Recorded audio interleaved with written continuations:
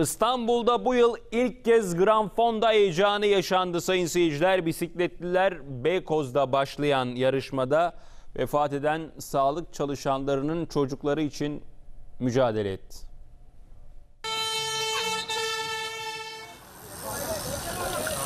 Bisikletini alan geldi. Pedallar bu kez vefat eden sağlık çalışanlarının çocukları için çevrildi.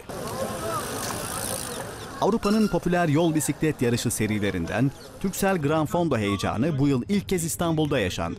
15 ülkeden yaklaşık 1000 bisiklet sever Beykoz'da pedal çevirdi. Güzel bir organizasyon. Katıldığımız için memnunuz. Elimizden geleni yapacağız. İnşallah kürsüye de çıkacağız. eksiksiz görüyorum yapılanları. 40 yıldır heyecan bitmiyordu. Devam ediyor. Etkinlik hareket et sloganıyla düzenlendi. Mücadelenin sembolik startına sporcular koronavirüs salgınına dikkat çekmek için maskeleriyle katıldı. yaşamımızın içine dahil edersek, kısa mesafelerde işe gidip gelirken bisikleti kullanırsak, inanın daha sağlıklı olacağız. Yarış 82 ve 40 kilometrelik iki kategoride gerçekleştirildi. Beykoz Belediyesi önünden start alan yarışta Yoros Kalesi, Yuşa Tepesi, Kaynarca ve Polonez köyden geçildi. 40 kilometre olduğuna bakmayın. Çok zordu. Çok dik. %20-%25'i gören yokuşlar vardı. Evet çok güzeldi, hızlıydı. Çok sert rampalar vardı. Öte yandan sporcuların evlerinde bulunan elektronik atıkları da geri dönüşüme kazandırılmak için etkinlikte toplandı.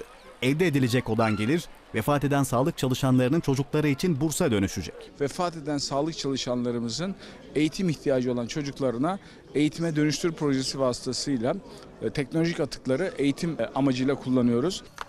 Zorlu mücadelede dereceye girenlere madalya verildi.